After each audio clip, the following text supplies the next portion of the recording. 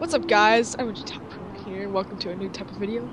Today we are playing Don't Starve, and I'm gonna show you guys how to get a werepig.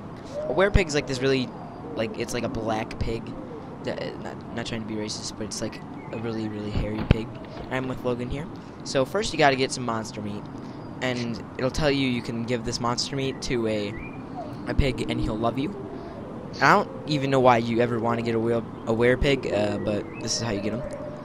So you just keep feeding him monster meat over and over, and eventually he will just turn into a werepig.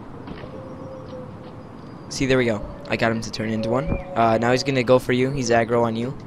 He's no longer following you anymore, and he does quite a bit of damage. I'm not gonna get hit by him because this is my tutorial world. So that's the werepig, everybody. Thanks for watching. Uh,